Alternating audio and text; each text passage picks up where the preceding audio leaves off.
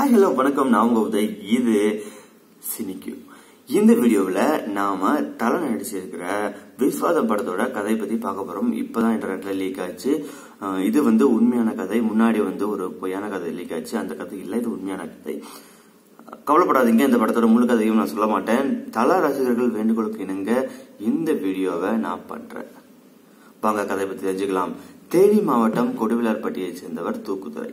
அதான்ப்பா நம்ம தலை தான் அவரு கெத்தா ஊர்ல நடக்கிற எல்லா பிரச்சனையிலயும் இருக்காரு. ஆரம்பத்துல சண்டை கோழியா தெரிஞ்சிட்டு இருக்கிற தலை நயன்தாரா வந்ததுக்கு அப்புறமா சாஃப்ட் ஆகி காதல் குழந்தை குடும்பம்னு கிளம்பிடுறாரு.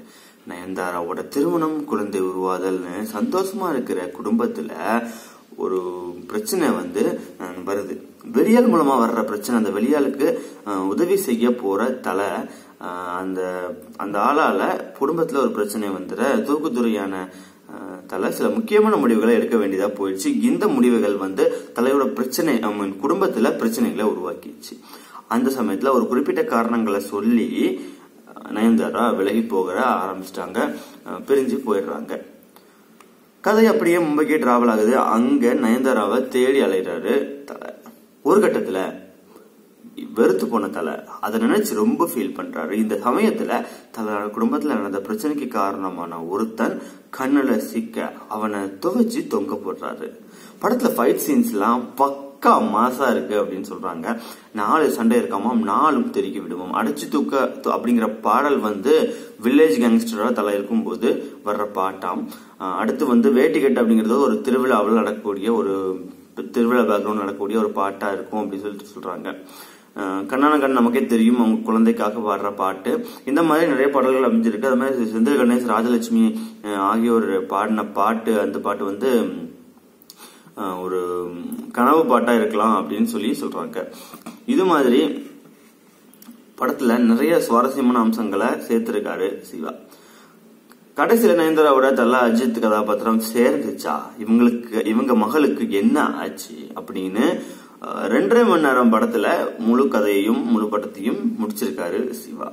கதையில நிறைய ட்விஸ்டுகள் இருக்கும்னு சொல்லப்படுது. அது சமீபத்துல வந்த படங்கள்ல இருந்து மாறுபட்டதா கொஞ்சம் வித்தியாசமானதா இருக்கும்னு சொல்லப்படுது. குடும்ப ரசிகர்களுக்கு நிச்சயமா பிடிக்கும் பல காட்சிகள் இருக்கும் அப்படிங்கிறது இந்த படத்துல இருக்கும் அப்படிங்கறத ரொம்ப நம்பிக்கையா சொல்றாங்க நிறைய பேர். இந்த இந்த படத்தை வர்ற பத்தாம் தேதி தேட்டர்ல பார்க்க தயாராகிட்டீங்களா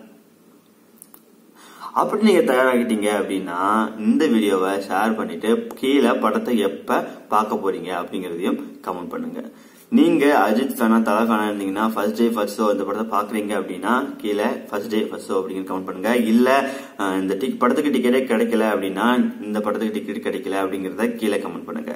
இல்லை பொங்கலுக்கு குடும்பத்தோட இந்த படத்தை பார்த்து என்ஜாய் பண்ண போகிறோங்க அப்படின்னா குடும்பத்துடன் அப்படின்னு கீழே கமெண்ட் பண்ணுங்கள் உங்களோட கமெண்ட் உங்களோட ஆதரவு உங்களோட ஷேர் உங்களோட லைக் எல்லாமே எனக்கு தேவை. என்ன காரணம் அப்படின்னா என்னோட வீடியோ ஒவ்வொரு வீடியோவும் நீங்கள் ரெகக்னைஸ் பண்ணுறீங்க எனக்கு நான் என்னெல்லாம் பண்ணணும் நான் என்னெல்லாம் திருத்திக்கணும் அப்படிங்கிறத நீங்கள் கீழே கமெண்ட்டில் சொன்னால் மட்டும்தான் நான் வந்து திருத்திக்க முடியும்.